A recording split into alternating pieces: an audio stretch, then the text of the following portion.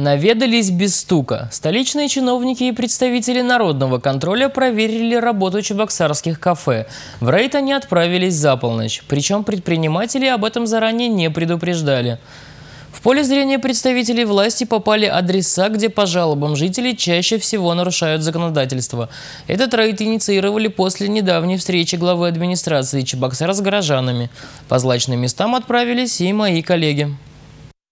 Уже у парадного входа в это кафе перед народными контролерами открывается неприятная картина. На полу горы мусора и окурки, стены исписаны фразами, которые в эфире произносить не принято. Местные жители давно жалуются на работу этой точки. Частые драки, громкая музыка и невыносимая вонь в коридоре – все это люди терпят уже не первый год. Постоянные клиенты не стесняются ни проверяющих, ни журналистов. Даже во время съемки они продолжают распивать алкоголь. И вот мы сейчас видим, как здесь начинаются какие-то разборки.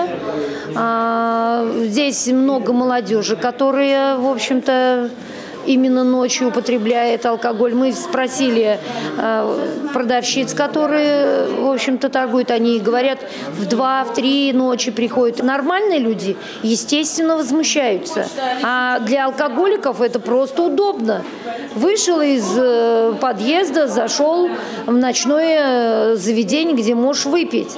Руководителей кафе решают наказать строго, депутаты будут требовать приостановить его работу. Но в Новоюжном районе столицы действует множество подобных точек. Яркие вывески далеко не всегда говорят о том, что внутри клиентов обслужат по высшему разряду. Во время рейда вопросы у проверяющих возникли и качеству блюд. Нарушение санитарных правил. Вот. Сохранение вот э, всех э, выпечки, они на сегодняшний день э, правила здесь не соблюдаются.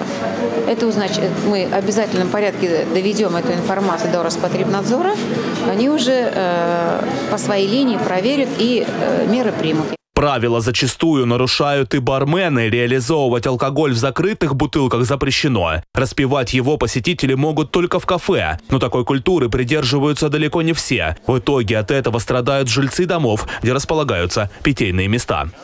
Если же у нас магазины продовольственные выполняют закон, да, после 11 они строго не продают даже пиво.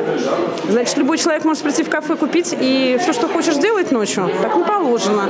Поэтому сейчас внесли изменения, что надо все алкогольные изделия потреблять на месте. То есть открывает пиво, человек садится, пьет и уходит.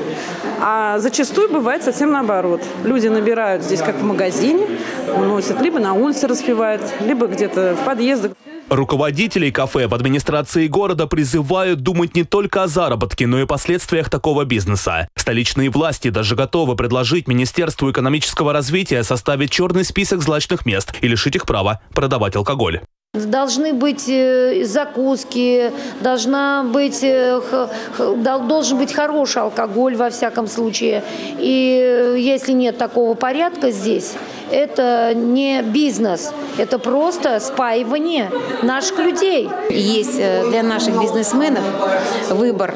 Или они перепрофилируются, э, значит, э, вот эти питейные заведения организовывают, например, парикмахерские, кафе, могут они магазины для реализации игрушек, например. Я думаю, что то, что закрытие таких питейных заведений для них это не будет помехой.